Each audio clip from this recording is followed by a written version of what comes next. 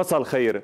الاستشارات في ساحة النجم والمشاورات في حارة حريك. أما جوقة التغريد فانعقدت على خط الرابي مع راب فعلى مرمى ساعات من استشارات التأليف كانت ساعات من المشاورات بين الأمين, الع... بين الأمين العام لحزب الله السيد حسن نصر الله ورئيس مجلس النواب نبيه بري. ما كشف من اللقاء تسريع الخطى لتأليف حكومة وحدة وطنية موسعة. تعكس التمثيل الصحيح ومقاربة شاملة للملفات الاقتصادية والمالية والإدارية والعمل الجاد لمحاربة الفساد.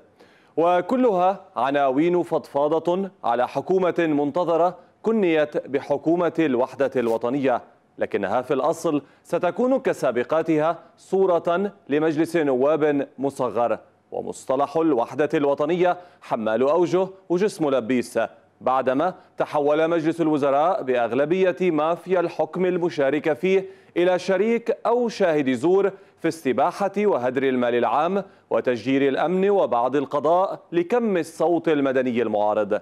وعلى الوحدة الوطنية نفسها استعرت الحرب الافتراضية بين القوات والتيار وجردت الأخوة من قرابة التفاهم. لكنها حرب لن تتخطى التغريد وتقف عند حدود رفع سقف المطالب للحصول على أكبر عدد من الحقائب. في حرب تويتر استحضرت لعبة الأحجام وكل تمسك بحجمه لفرض شروطه والدفاع عنها بأسلحة من مستوى الإلغاء والعزل والتهميش. افتتح الردح في الوقت المستقطع لتصريف الأعمال وزير الأعلام الحمرياشي مستعينا بنمرود بابل. فالتقط وزير العدل سليم جريصاتي السهم ليطلقه من جديد قائلا فتش عن نمرود تجده تحت سقف بيتك. رياشي رد على الرد. لكن قوة الإسناد جاءته من النائب فادي كرم الذي وصف جبران باسيل بالمهزوم. ولو استمرت حفلة الزجل لتحولت من أوعى خيك إلى بي أقوى من بيك. وإذا كان منطق الأحجام هو سيد الموقف وكل بحسب حجمه يضع شرطه ما على من يرسب, يرسب في امتحان الأحجام إلا أن يولي وجهه ناحية المعارضة بدلا من البكاء على أطلال شعارات العزل والإلغاء.